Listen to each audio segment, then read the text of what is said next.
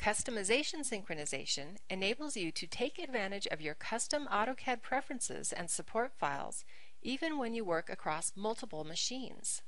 You can control the type of information you want to sync, including option settings, customization files, printer support files, custom hatch patterns, tool palettes, and drawing template files.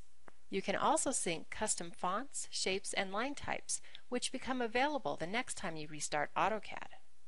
If you are logged in to Autodesk 360 and sync is enabled, any changes you make to the specified settings are automatically uploaded to the cloud. For example, maybe you use a colored background and larger crosshairs. The changes are automatically synced to the cloud so that if you sign in from another computer, you'll have your most current customization data ready to use anywhere, anytime. The Sync My Settings tool allows you to start and stop syncing of your custom settings. If you stop syncing your custom settings, your online settings are preserved but no longer updated.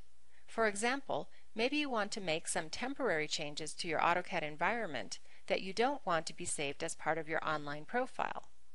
The next time you choose to sync your settings, AutoCAD compares your local and online settings and allows you to choose whether you want to use your local settings, in which case it will upload them to the cloud, or your online settings, in which case it will download them from the cloud.